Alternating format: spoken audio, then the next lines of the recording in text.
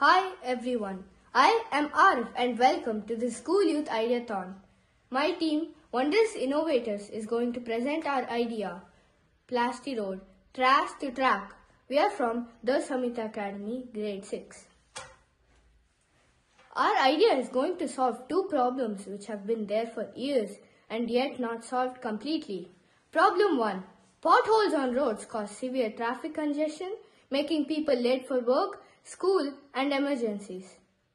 This causes fuel consumption, air pollution, stress and health issues. Problem 2. At the same time, large amounts of plastic waste are dumped across the city, creating foul odors, polluting the environment and worsening global warming. Now, over to Rohan for the proposed solution.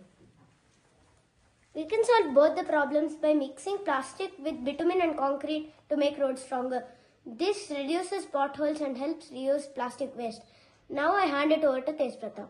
of roads provide strength, resistance to heat and long-lasting roads. Aren't you excited about our design? The bottommost layer would be concrete for its rigidity and strength for heavy vehicle movement.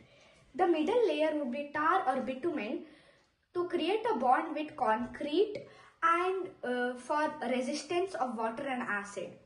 The top layer would be plastic melted with tar for uh, to prevent road damage and uh, hold tar together after rains. Now I would like to call upon Pranav for the future plan.